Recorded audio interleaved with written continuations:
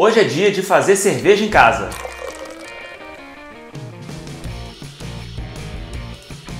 Fala pessoal, eu sou Amanda Henrique, jornalista sommelier de cervejas, editora do mariacevada.com.br. Eu sou Anderson Senni, sommelier de cerveja e cervejeiro caseiro. E a gente hoje vai fazer uma cerveja em casa. Vai ser uma blonde ale usando a nova versão do kit de 20 litros de produção de cerveja do Cerveja da Casa, o nosso parceiro nesse vídeo. Aqui em cima você vai encontrar o vídeo com a produção que a gente fez com a primeira versão desse kit. Então hoje, além de ensinar como produzir sua cerveja em casa, a gente também vai mostrar as novidades e também as melhorias. Então agora vamos ver o que vem no kit? Mas antes, não esquece de curtir esse vídeo e se inscrever no canal. Acompanhe a gente também pelo Instagram, é mariacevada. Vamos nessa! Todos os kits e ingredientes desse vídeo você vai encontrar em cervejadacasa.com e usando o cupom BRINDEMARIA 2020 tem presente.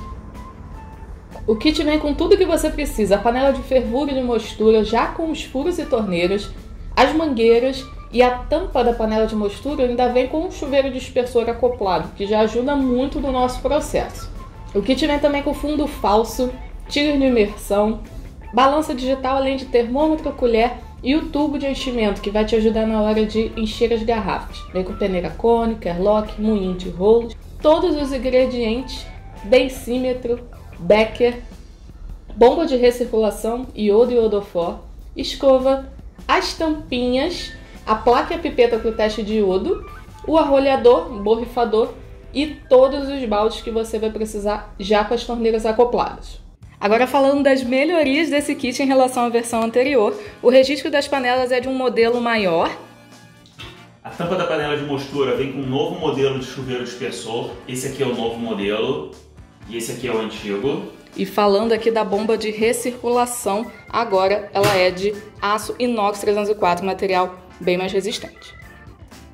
Essa segunda versão do kit veio com balança digital, a peneira cônica, o copo Becker para hidratação da levedura, pipeta e placa de toque para o teste de iodo e também o borrifador para sanitização.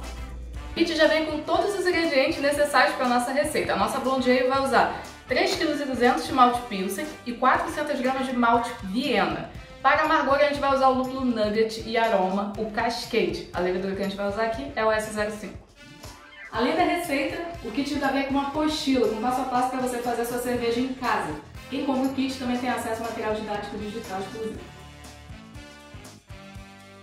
Depois de limpar todos os equipamentos com detergente neutro usando a parte macia da esponja, a gente vai começar a moer os maltes Pilsen e Viena. O moinho de rolos vai desempenhar um papel fundamental de uniformizar os grãos nesse processo de moagem.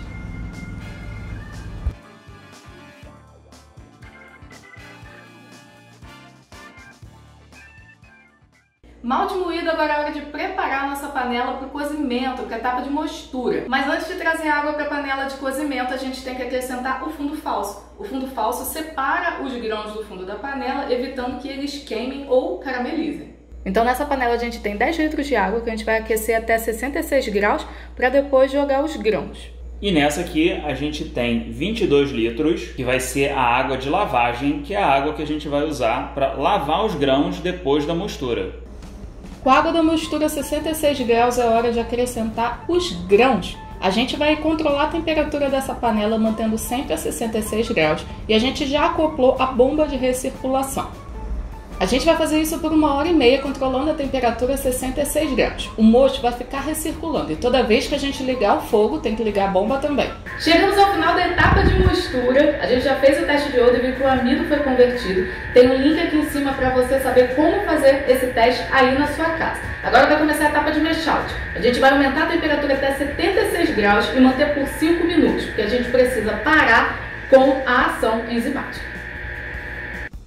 Depois da etapa de mash-out é a hora da lavagem. Lembra da nossa outra panela? Mangueiras trocadas, agora é a hora da água a 76 graus lavar os grãos da panela de mostura. O mocho já clarinho vai indo para o balde. Após esse processo, a gente vai abandonar a panela de grãos e guardar para fazer pães e outras receitas. Mas antes, vamos esperar essa panela ferver. Começou a fervura, está na hora de adicionar o lúpulo nugget, nosso lúpulo de amargor ele vai ferver por 60 minutos. É importante lembrar que o momento de adição do lúpulo varia de receita para receita. Aqui a gente vai aproveitar para inserir o chiller de imersão faltando 15 minutos para o fim. Esse momento também pode ser usado para sanitizar o balde com iodofor. A gente indica as quantidades aí na tela. Faltando 5 minutos para o fim da fervura, é hora de adicionar os lúpulos de aroma. Aqui na nossa receita, a gente vai usar o Cascade. Terminada a fervura, a gente faz o whirlpool, esse movimento circular para juntar todo o lúpulo e sedimentos para facilitar na hora de transferir o nosso mosto para o balde. Depois disso, é hora do resfriamento. Começamos o processo de resfriamento do mosto. O chiller de imersão já está dentro da panela. A gente está passando por ele água para poder resfriar o mosto e essa água está saindo quente. Por que, a gente precisa resfriar o mosto? Porque ele precisa atingir por volta de 20 graus Celsius para a gente poder adicionar a levedura. Enquanto o mosto vai para o balde, a gente pode reservar parte do líquido para o densímetro. É com ele que a gente vai fazer o cálculo do teor alcoólico da nossa cerveja. Também nessa etapa, aproveite para hidratar a levedura. A gente explica o uso do densímetro e a hidratação da levedura no nosso material complementar no site. Mosto resfriado, está na hora de adicionar a levedura devidamente hidratada. Lacrar o balde e botar o airlock. Você vai colocar álcool ou água no airlock e depois o balde está pronto para ir para a geladeira. Ele vai fermentar por 7 dias a 19 graus. Depois desse período, a gente baixa a temperatura para 5 graus por mais 10 dias. É a etapa de maturação. Depois do processo de maturação, você pode engarrafar a sua cerveja, mas antes é necessário fazer o priming. O priming é um processo que adiciona uma calda açucarada à cerveja para ajudar na carbonatação. A gente explica tudo no material complementar. Depois disso, é só fechar sua garrafa com tampinha, rolhador e esperar 10 dias, mantendo tudo a 18 graus.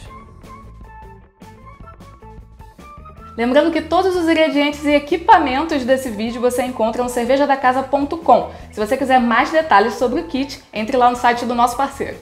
E lá no nosso Instagram, Maria Cevada, você também confere todas as nossas aventuras cervejeiras em tempo real. Até o próximo vídeo, galera! Valeu, galera! Boas cervejas!